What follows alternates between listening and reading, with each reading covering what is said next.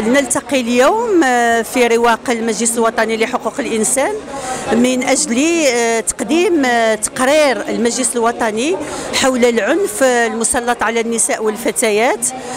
هذا التقرير اللي بذل فيه المجلس الوطني واحد المجهود كبير واللي بمناسبة الحملة الوطنية ضد العنف اللي انطلقت في 25 نوفمبر 2021 واللي طبعا هي بمناسبة اليوم العالمي لمناهضة العنف وبمناسبة الحملة الكونية آه، لمناهضة العنف أطلق المجلس الوطني لم يطلق فقط 15 آه، يوما للمناهضة ديال العنف ولكن أطلق سنة بكاملها من نوفمبر 2021 إلى نوفمبر 2022 خلال هذه السنة كانت هناك عدة لقاءات عدة نقاشات عدة أعمال متعلقة بهذه الظاهرة التي تسيء إلينا كنساء تسيء إلينا كمجتمع والتي هي أؤكد أنها كونية وليست تخص بلدنا وحده.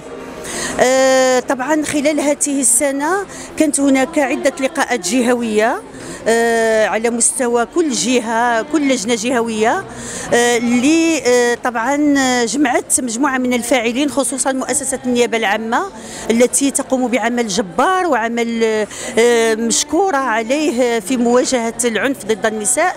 وكذلك جمعيات المجتمع المدني كذلك كان استخلصنا من هذه اللقاءات مجموعة من التوصيات ومن الملاحظات.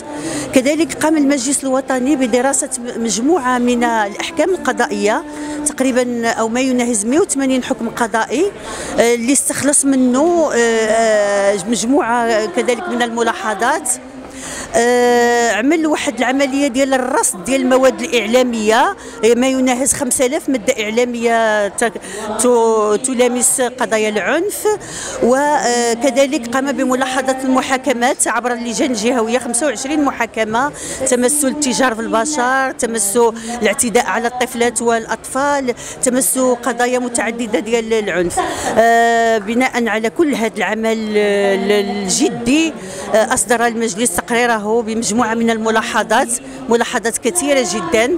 وهذه الملاحظات تمس القدرة والتوهين إرادة النساء في التبليغ وتشجع للأسف على الإفلات من العقاب. وأصدر مجموعة من التوصيات تمس القانون الجنائي والمسطرة الجنائية والعمل القضائي والسياسات العمومية هذه آه التوصيات أعتقد على أنه إذا تم الأخذ بها سنخطو خطوات إيجابية جدا نحو القضاء على هذه الظاهرة ونحو التشجيع على التبليغ وعدم الإفلات من العقاب. أتشرف بتسيير هذه الجلسة اليوم حول موضوع التشجيع على التبليغ للنساء ضحايا العنف والفتيات وكذلك من أجل مناهضة الإفلات من العقاب. هذه الجلسة اليوم غادي نناقشوا المخرجات ديال التقرير اللي خرجوا اللي صدروا المجلس الوطني لحقوق الإنسان. هذه المخرجات اللي كانت نتيجة لواحد الحملة اللي قام بها المجلس الوطني لمدة آه، سنة. وهذه المدة ديال سنة تدخل هذه الحملة في إطار الحملة ديال الحملة الدولية ديال 16 يوم لمناهضه العنف ضد النساء.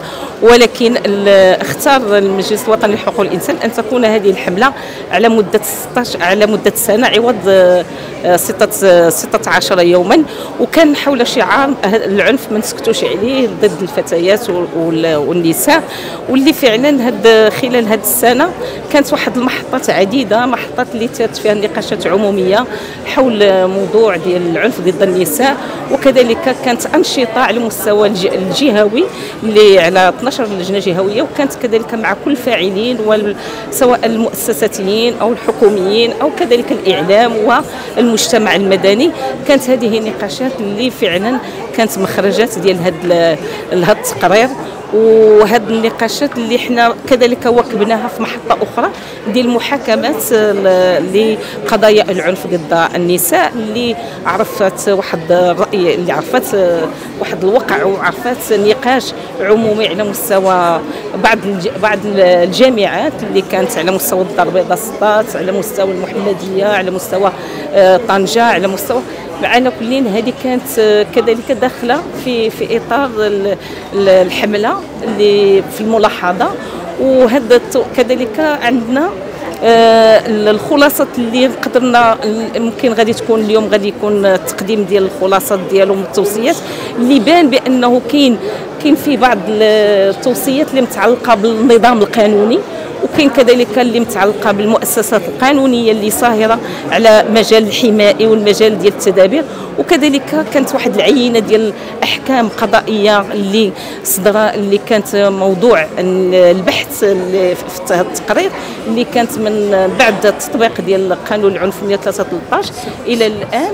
وهذا وهذه العينات اللي كانت فعلا برزت لنا خلال التحليل انه برزت بعض الإشكاليات اللي تعرفها كذلك النظام القضائي حول مثلا القانون 113 غياب بعض التدابير الحمائيه على مستوى الجنائي بينما في كاين كذلك على مستوى التكييف الجنح تكييف العنف ضد النساء على. كأنه جنح في حين بعض في بعض الأحيان أنه التكييف تيكون على مستوى أنه جناية لأننا الآن نحن في تمرين جديد على مستوى قانون التجار بالبشر وهذا القانون التجار بالبشر اللي تيكونوا فيه النساء ضحايا ديال العنف ضحايا ديال الانتهاكات الجسيمة في التجار بال...